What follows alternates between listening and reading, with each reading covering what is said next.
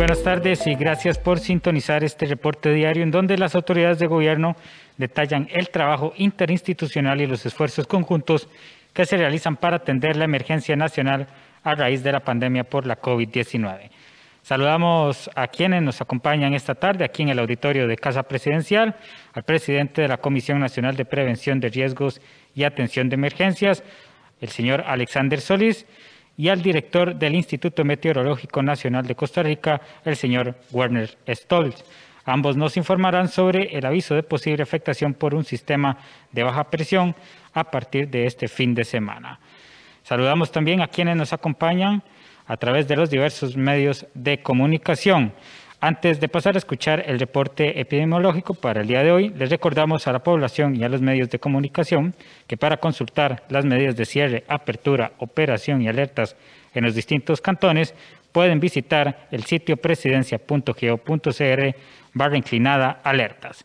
Sin más, escucharemos a la doctora Priscila Herrera, directora general de la Salud, quien a través de un video nos detalla el reporte epidemiológico para este viernes 30 de octubre. Buenas tardes. Al 30 de octubre, el país registra un total de 1.296 casos nuevos por COVID-19. De estos, 275 son por nexo epidemiológico y 1.021 son por laboratorio, para un total de 108.866 casos confirmados. Se contabilizan 66.000 202 personas recuperadas. 452 personas se encuentran hospitalizadas, de estas 186 se encuentran en unidades de cuidados intensivos con un rango de edad que va de los 1 a los 87 años. Para hoy se reportan 14 lamentables fallecimientos, 13 hombres y una mujer con un rango de edad que va de los 62 a los 86 años. En total se contabilizan 1.371 decesos relacionados con COVID-19. Muchísimas gracias a la doctora general de la salud, a la doctora Priscila Herrera. A continuación, vamos a hacerle el uso de la palabra al presidente de la Comisión Nacional de Prevención de Riesgos y Atención de Emergencias, el señor Alexander Solís Delgado. Muy buenas tardes, don Alexander.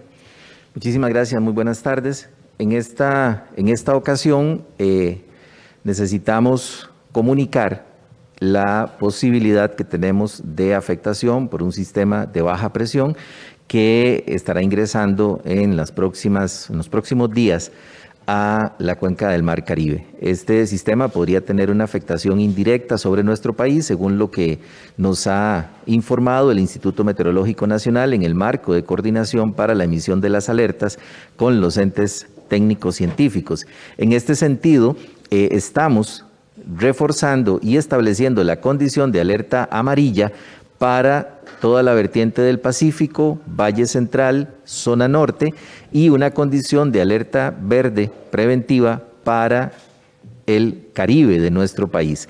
Esta condición de alerta amarilla implica preparación ya estamos movilizando nuestros equipos de coordinación a las diferentes regiones.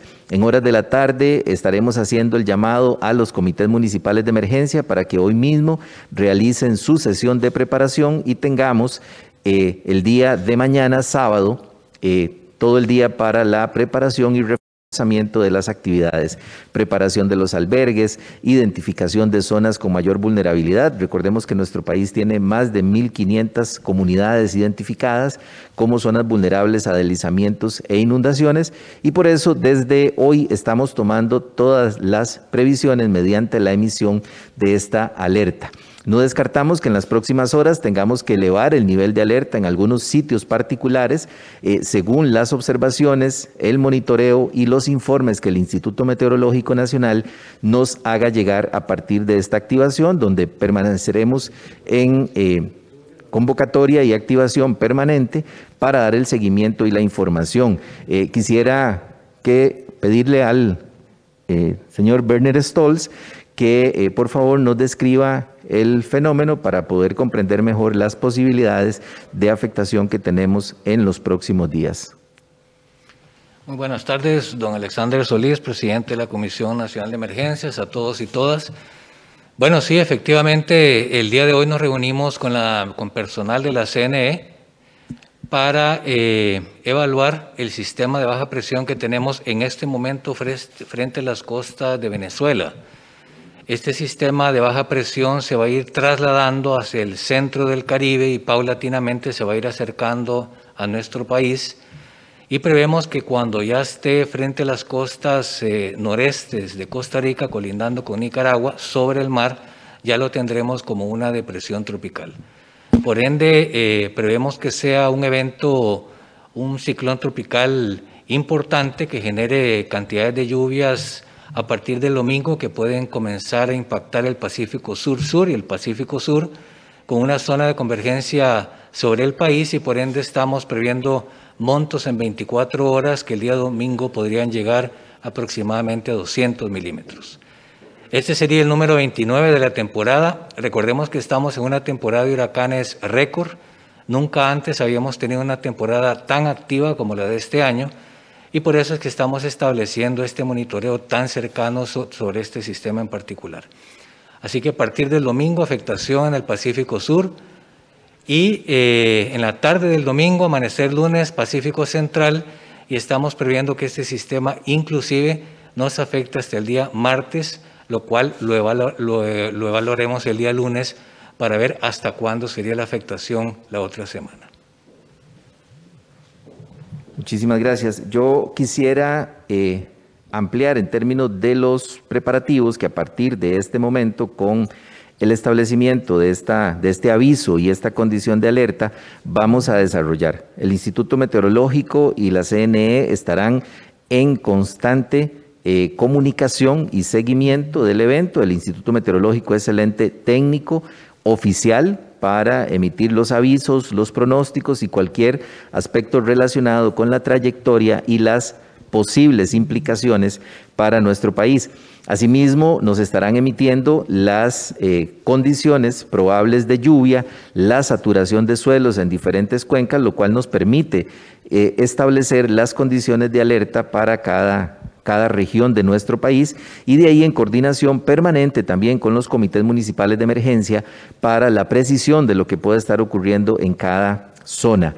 Eh, en la tarde de hoy tendremos sesión virtual del Centro de Operaciones de Emergencia con todas las instituciones que directamente tienen la responsabilidad de responder ante una situación de emergencia o desastre para poder informarles y establecer las acciones operativas de las próximas 24 48 horas.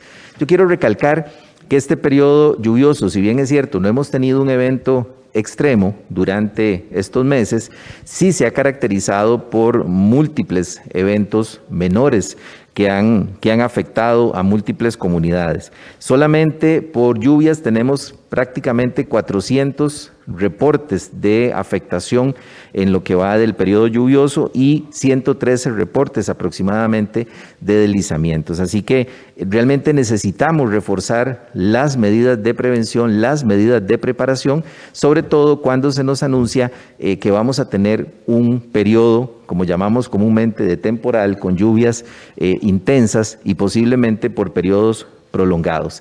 Así que hacemos el llamado en la condición de alerta amarilla a los comités municipales de emergencia para que se mantengan en constante seguimiento de la información que emitiremos desde el Instituto Meteorológico Nacional y desde la CNE eh, por medio de los diferentes medios de comunicación y las alertas que se están estableciendo. También le solicitamos a estos comités municipales que a partir de este momento se mantengan activos, preparados para enfrentar en sus comunidades las condiciones por eh, inundaciones, deslizamiento que se puedan presentar y preventivamente habilitar los albergues. Recordemos que estamos en una situación de pandemia con una transmisión de virus SARS-CoV-2 y necesitamos además tener albergues diferenciados.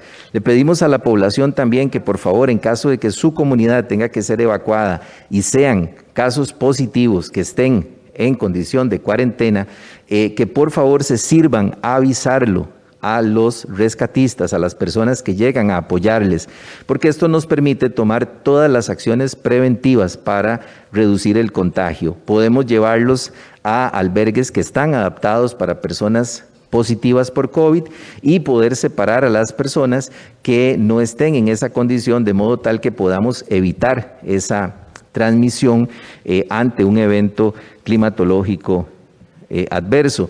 También que por favor activen sus comités comunales de emergencia, sus organizaciones eh, locales y comunales para el apoyo y por supuesto que desde ya se haga la revisión de los suministros, de los inventarios disponibles para que con suficiente antelación nosotros podamos apoyarles desde la Comisión Nacional de Emergencia. A la población que habita en zonas de riesgo, que ya son conocidas, que tradicionalmente se afectan, por favor no esperemos hasta el último momento para movilizarnos si estamos en una zona de riesgo por deslizamiento, por inundaciones, en las zonas que se establezcan con una condición diferenciada de alerta eh, extremar todas las medidas. Si no tenemos eh, la urgencia de viajar al Pacífico Sur, al Pacífico Central, durante el fin de semana, por favor, evitemos hacerlo. Esto nos va a permitir eh, que ante deslizamientos o afectaciones mayores, caída de un puente, etcétera, se nos queden personas aisladas en sitios donde eventualmente puedan correr algún riesgo a su seguridad y la vida. Y también para las personas que necesariamente tengan que viajar por nuestras carreteras, pues tomar también todas las precauciones porque tendremos condiciones, condiciones lluviosas. Y no olvidarnos, por favor, también mantener siempre las condiciones de distanciamiento físico, de lavado de manos, de protocolo de tos y estornudo para evitar la propagación del COVID. Muchísimas gracias. Muchísimas gracias a don Alexander Solís y al señor Werner Stolz. No contamos con medios presentes el día de hoy, tampoco eh, tenemos consultas de los medios regionales remotamente. Agradecemos a quienes nos acompañaron esta tarde a través de los diversos medios de comunicación. Antes queremos recordarles a la población y a los medios de comunicación que para consultar las medidas de cierre, apertura, operación y alertas en los distintos cantones puede visitar el sitio presidencia.go.cr barra inclinada a alertas. Y muy importante, seguir ante todo las indicaciones de las eh, instituciones y los medios oficiales ante esta alerta que acaban de anunciar, nos acaban de informar tanto el presidente de la Comisión Nacional de Emergencias y el director del Instituto Meteorológico Nacional. A todos y todas, muy buenas tardes.